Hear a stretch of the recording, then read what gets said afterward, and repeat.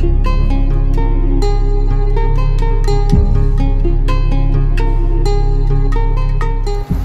everyone, welcome to the energy update for February 2018. I'm Lee, I'm an energy intuitive, and for those of you who don't know me, every month I do this energy update video to take the pulse on what's going on energetically around the planet. Things are ramping up again and again and again, and yet, interestingly, now we're coming into this February period, it's going to be a little more peaceful than many of you may have experienced it the last few months. A few different reasons for this. Those of you who've watched my videos or tracked other people who speak about energy for the last few years, you will know that we're in a time of heightened energy, which means things are faster, you manifest things faster than ever before, you have lessons dealt to you faster than ever before, things can heal faster than ever before, you might know how to forgive somebody you thought you could never forgive, and vice versa. It's a very rapid ascension phase, meaning we as a planet are moving from a collective energy that has been very low, fear based, in comparison to what we're moving into, which is more soul to soul connection, more brother and sisterhood with each other. However, it's a rocky road and it's not going to happen overnight. Many people thought 2012 would be it, but no, this is going to play out over the next couple of decades and it's going to get a little bit gnarly as we go, as we are seeing. So, February is going to be a very interesting month in terms of what you might know as higher frequencies, higher vibrations. This can translate to overnight awakening experiences. So, those moments where you suddenly are seeing visions, feeling and sensing things that you couldn't sense before. When you first tap into that power, that energy, that source life force, it feels like magic. And you know, it continues to, even when you're used to tapping into it. As those moments show up, you feel like living is a little more alive, a little more magical. Your connections with yourself, with nature, with others is stronger. Also, it's a time where you tend to have very strong visions for your future. You might have a breakthrough and go, oh my God, I'm, I'm realizing this is what I'm meant to be doing with my life and I'm going to spend the next few years making it happen. Or you realize you need to move somewhere, or you realize there's a problem with a relationship that has been there for a long time that you and the other person perhaps haven't been addressing, and you suddenly realize, oh, I need to deal with this. So we have this breakthrough energy when awakening energy hits us. Sometimes we act on it, sometimes we don't. You see, when our third eye and our senses open up into feeling everything that is here, these are very cosmic experiences, and sometimes all you need to do is sit in them and go, Oh my God, wow, this is really trippy. What have I been smoking? You haven't been smoking anything. Well, some of you may have because that can also induce those experiences, but we don't need that substance for those experiences. So it will be interesting for those of you who are used to this experience to see how that shows up a little bit in February because the message I was getting this morning is that the energy of peace and the energy of visionary awakening is going to be hitting the planet a lot in this coming month. Equally, what that can do is it can be popping people open left, right, and center. So, people around you who never thought they would think about or talk about energy, or the kind of people who I occasionally see comment on my videos going, I thought this was going to be about oil. Um, you know, um, having really cosmic experiences where suddenly things pop open for you. So, in energy terms, this is going to be a high month and a cosmic month in terms of what's possible. So, more of you should be feeling peace and connection than ever before, and it will show up in different ways. But equally, what that can do is it can raise all the lower stuff to the surface. Now, don't panic, those of you who are like, oh God, the last few months were hard enough. You know, I said this in the last few videos. One of the things that I think the group who call themselves light workers are really having to come to terms with right now is it's time to really just get in the trenches and be action based. And that means not just about the rest of the world. Often, if you're a light worker who's in despair or has been troubled for a long time, or you feel like you go in and out of depression and not wanting to be here, you should make 2018 the year that you are your focus. We often hear that it's an inside job from all the great spiritual teachings out there, and it's true. It starts inside us, and then as we can lighten and brighten who we are internally and recognize that's really important work, then we naturally become more benevolent, more healing, more useful to others. I've seen that time and time again with all the people that I've worked with. I experience it in my own life. So if that's you, if you're sitting there going, oh God, no more, then okay, let's not play the game of, oh God, no more, being in fear of suffering. Let's tackle suffering head on. Make an action plan for yourself for 2018 of all the support you're going to need to lift yourself. Because no, you aren't supposed to be on this planet struggling. Yes, struggling and suffering are a part of the planet. But you wouldn't be watching this video if you just wanted to, you know, give up and sit in those energies. There is a part of you that knows that you are here to bring something to the world and to experience something in the world. And those two things have to be in balance. I meet many people who you know, kind of get a little bit bored of just sitting back and watching the world go by eventually, even if it's peaceful for a while or you need it to recover. And then equally, I see other people who are like working it hard, working it hard, but not really giving themselves the time to sit back and integrate and process everything that's happening. Which leads me to another point.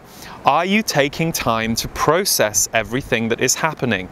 I don't necessarily mean talking about it for 90 minutes to people. Sometimes, you know, we need 90 minutes to talk about it, but really most of us can talk about whatever it is that we're trying to get to the heart of within a few minutes, uh, you know, maybe a little longer if it's a big thing, but I mean, are you giving yourself space and time to not only sit back and catch up with the speed of these times, but give yourself time to sense and feel the difference? Amanda, who is on our, my team, um, she has this great phrase, Western mania, and she talks about the Western mania that we all get caught up in. And it's true, we, we are caught up in it. It is part of why we're here. We're partly here to drive and be energy, and equally, we get sucked into that pattern and it becomes out of balance for all of us. So, are you taking the time out this month to listen, to stop? To be because those higher energies I'm talking about, they're going to get you one way or another. They're going to get you in a really nice way if you're stopping, listening, writing a gratitude journal at night, or taking 15 minutes a day to sit by your favorite tree. An act of self care that is not indulgent, that is not just you switching off, it's actually you fueling yourself. Because that's the other message of this month. We need to fuel ourselves better than we have been. It's not that we don't have all the tools at our disposal, we do.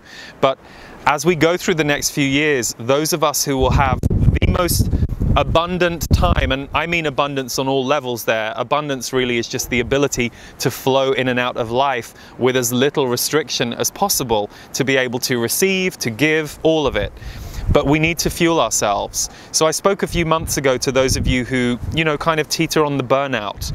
These times are very different. So even if you think you had it down in 2015, 2016, the way the energy is coming in now, it is asking us all to create small but potent changes in our life if we aren't feeling them.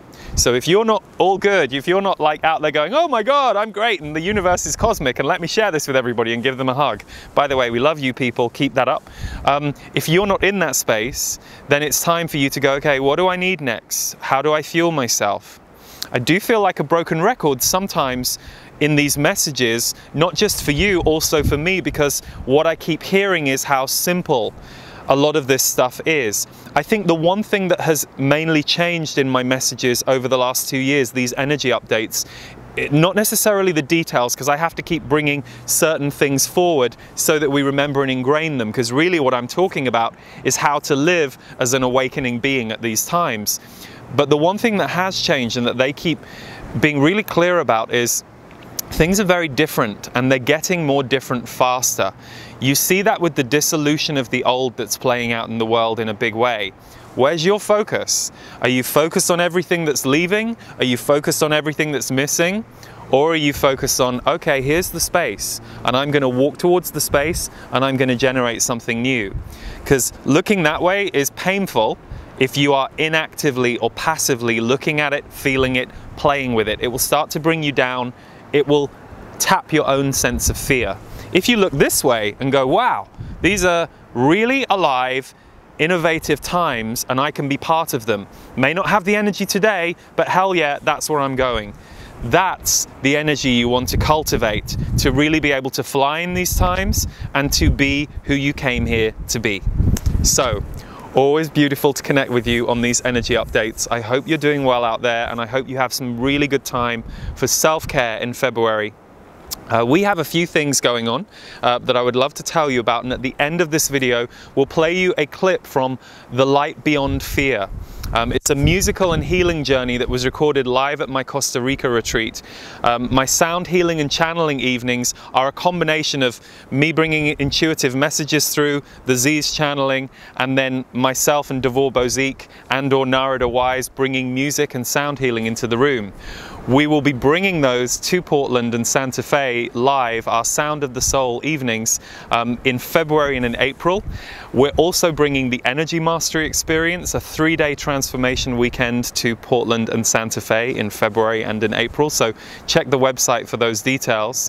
And last but not least, Impact the World is my four-day training for change makers, entrepreneurs, and creatives. So if you have a message for the world, if you want to bring your work to the world via the various forms of media that the internet now affords us, but you're not quite sure how to get your messaging right, how to start, which mediums you want to use and how to use them. Equally, if you're worried that you're not good enough, if you think, why should I do it? There's already Elizabeth Gilbert out there come to Impact the World. I'm going to do the front of house and behind the scenes training with you for actually it's five days and then three follow up uh, calls over the following months so that you can really take your work to the next level. Always good to see you guys. Oh, I forgot, almost forgot. Austin, I'm at the Conscious Media Festival in Austin, uh, March 2nd to the 4th. So we'll now play you the clip um, from Light Beyond Fear it's free to Portal members or it's the new MP3 available in our store. So we hope to see you at one of the events or if not, see you next month on this video. Big love everyone. Some of you fear the way that you have used your fire in the past. You feel shame for things you have done or said that you perceive hurt others, that perhaps did hurt others. Some of you are afraid that you will burn out again, as is your pattern. To give and give and give, or to elevate your fire and to be left with nothing because you were so being overrun by the fire that you weren't paying attention to how it was affecting your environment. This is why you learn balance. This is why burnout happens. It's to show you that some part of you is not in touch uh, with what you need to maintain your balance and your energy. So you desire fire and you are afraid of it. It has the power to hurt you, it has the power to warm you and fuel your life.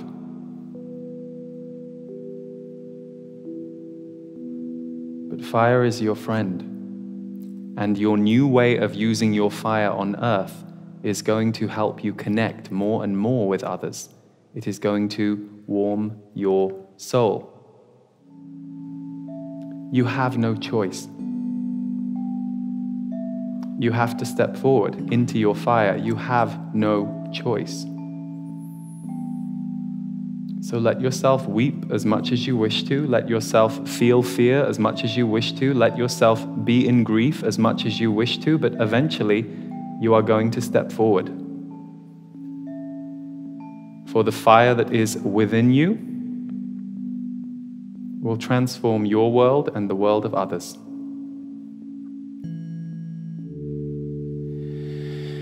I can see no way out of this, so I'll just dive into this within. Within. Though there's a warning to resist, I will give myself to this within.